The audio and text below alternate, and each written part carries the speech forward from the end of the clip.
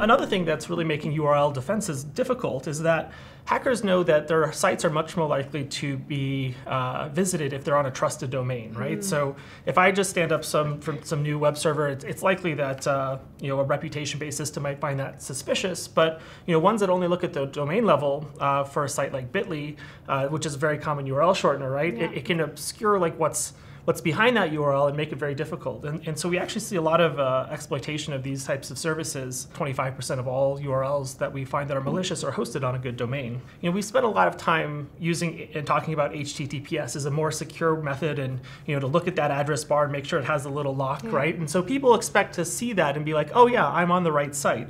Uh, and so phishers know that as well. And today we see roughly about a third of all phishing sites are hosted on HTTPS.